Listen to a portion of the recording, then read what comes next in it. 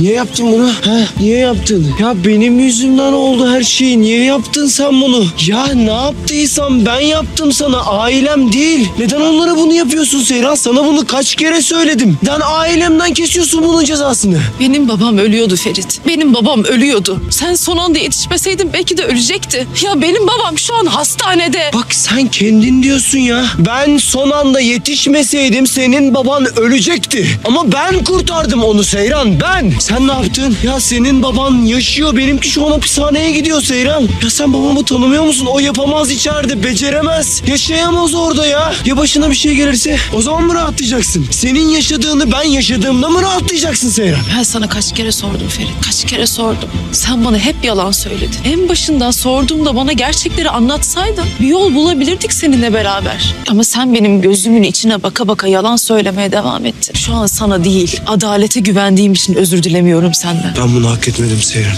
Bana ne dersen de ne yaparsan yap.